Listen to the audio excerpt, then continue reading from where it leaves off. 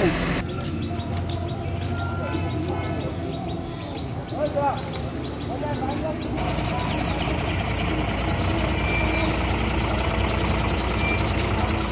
ৰাতিপুৱাৰ ভাগত এখন গাড়ী ট্ৰাক গাড়ী আগৰতলাৰ পৰা আহি আছিলে।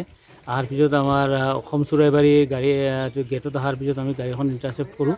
আৰু চাৰ্চ আৰু চাৰ্চ কৰাৰ পিছত তাৰ পৰা চৈধ্যশ বিছ কেজি গাঞ্জা আমি উদ্ধাৰ কৰিছোঁ। আৰু সেই গাড়ীৰ চালকজনক আমি কৰায়ত্ব কৰিছোঁ। আৰু N D P S act মতে এখন কেছ ৰুজু কৰিছোঁ। আৰু আমাৰ ইনভেষ্টিগেশ্যন বৰ্তমান চলি আছে।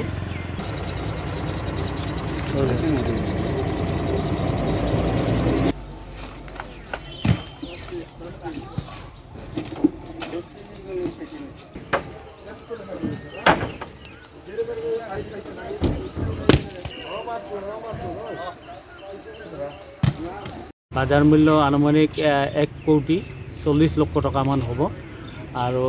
সোধ পোছ কৰা মতে যিখিনি জানিব পাৰিছোঁ আহ, আগৰতলা শালবাগান বুলি ঠাইৰ পৰা এই গাঞ্জাখিনি লোড কৰিছিলে আৰু ইউ পিৰ ভেৰেলিত লৈ যাব।